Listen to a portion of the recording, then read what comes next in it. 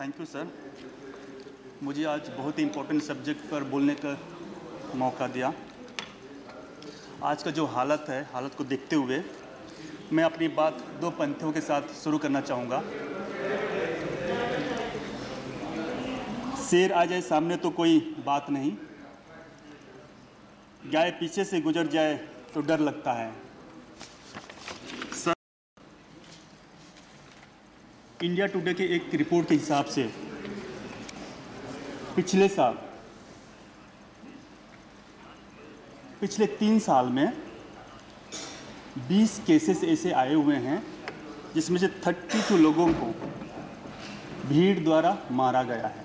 और उसमें से 70 परसेंट दलित और मुस्लिम भाई लोग हैं।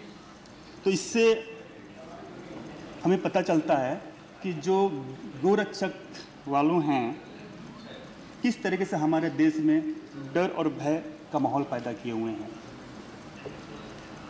आपके एक सहयोग, सहयोगी पार्टी शिवसेना के एक मेंबर ने कहा है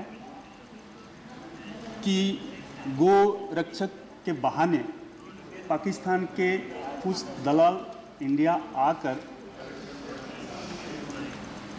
इंडिया की छवि खराब कर रहे हैं। सही बात?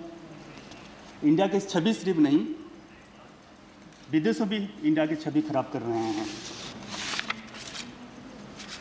गोरक्षा के नाम पर देश में जो लोग गुंडागर्दी कर रहे हैं, बेगुनाह लोगों को मार रहे हैं, वो मेरे ख्याल से हमारे देश के लिए देश का आतंक, आतंकवादी हैं।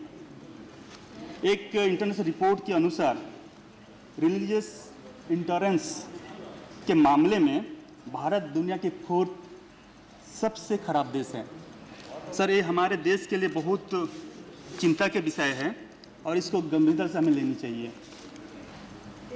सर, कई महीनों से हम सब देख ही रहे हैं कि दलितों के साथ किस तरीके से अत्याचार हो रहा है। हिमाचल में आप देख लीजिए, गुजरात में देख लीजिए, दलित को लोगों ने पकड़ बाँध के पीट रहे हैं। और साथ ही साथ वीडियो करके पोस्ट भी कर रहे हैं, लेकिन हमारे जो कानून के रखवाले हैं, काफ़ी देर में, काफ़ी देर में उनके साथ कार्रवाई होती है, जो कि काफ़ी दुख की बात है। वैसे ही हमारे मुस्लिम भाई लोग के कहीं पर ट्रेन में भीड़ ने कहीं मार के उनका हत्या कर दे रहे हैं, कहीं पे फ्रिज में गो मांस के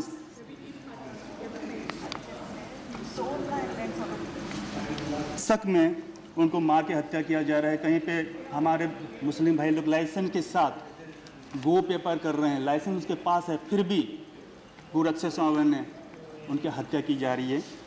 इतना ही नहीं, आजकल हमारे क्रिश्चियन भाइयों में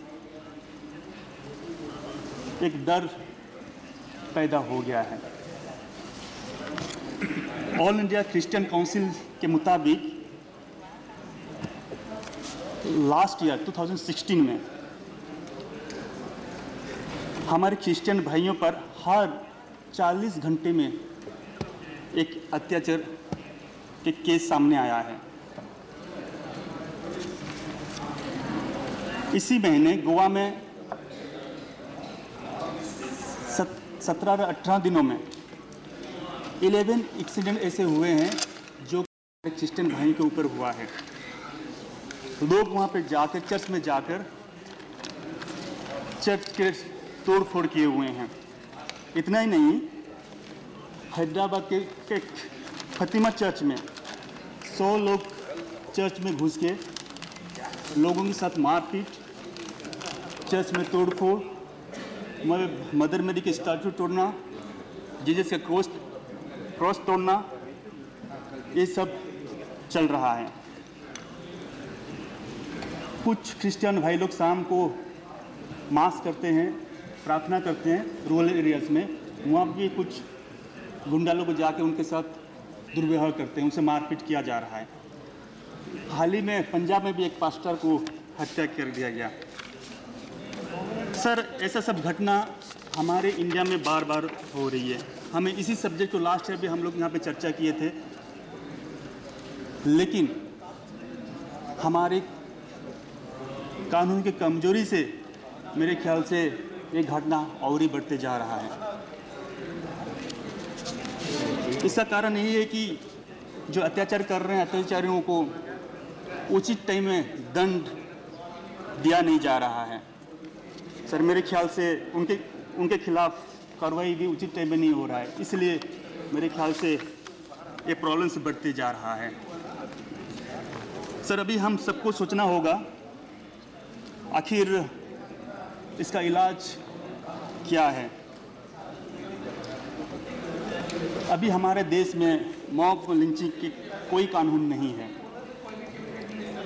इसलिए संसद और सरकार द्वारा तुरंत इस बारे में कठोर कानून बनानी चाहिए, ताकि मॉब लिंचिंग को क्लियर वो में डिफाइन किया जा सके और इसके ज़रिए दुश्मन को टाइम बाउंड मैनर में सजा दी जाए। मुझे ऐसा लग रहा है कि हमारे देश का यूथ को भी एजुकेशन के ज़रिए रिलीजियस टॉलरेंस की सिखाने की ज़रूरत है। और मैं ये सलाह दूँगा कि हमारे जो एजुकेशन सिस्टम है, सिलेबस में ही इसको रख देना चाहिए। जैसे आनंद शर्मा जी ने भी सोशल मीडिया की ज़िक्र कर रहे थे व्हाट्सएप का ज़िक्र कर रहे थे। आजकल व्हाट्सएप और सोशल मीडिया के ज़रिए ही सबसे ज़्यादा नफरत और झूठ प्रचार किया जा रहा है। मेरे ख्याल से उसके ज़रिए भी कई बार वापस में लड़ जाते हैं। हमारे कई बार कई बार हम लोग देखे भी हैं। हमारे मुस्लिम भाई, हिंदू भाई के बीच में भी लड़ी हुई है। मॉक लिंचिंग हुई है। तो मैं ये कहना चाहूँगा सरकार को कि जितने भी हमारे सोशल साइट की कंपनी हो, उनके साथ बात करके सीओ के साथ बात करके एक फ़िल्टर डेवलपमेंट किया जाए, जिससे कि हेड मैसेजेस रोका जा सके। और एक मैं ज़रूरी बात करना चाहूँगा। आज हमारे देश में जो भी जिम्मेदार पदों में बैठे हुए हैं, बहुत सारे ऐसे व्यक्ति हैं जो कि कई बार भड़का देते हैं और भड़काऊ भाषण से हमारे देश के यूथ सब उनको मनोबल मिलता है और इस कामों में व्यस्त हो जाते हैं।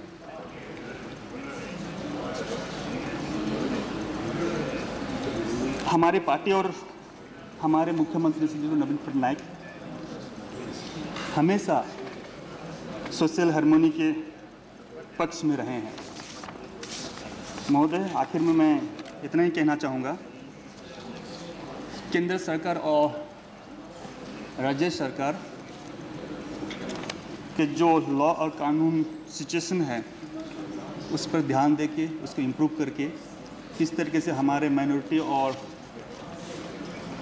दलित मुस्लिम क्रिश्चियन भाइयों में उनका विश्वास वापस आएगा उसके बारे में हमें काम करना होगा धन्यवाद थैंक. Uh,